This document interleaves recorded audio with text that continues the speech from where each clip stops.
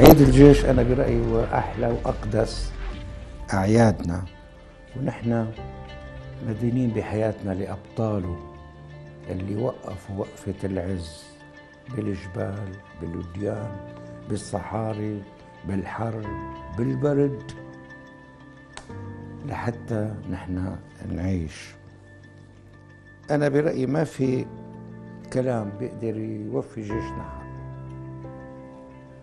يعني أنا شخصيا ما بملك إلا كلمة شكرا لهذا الجيش.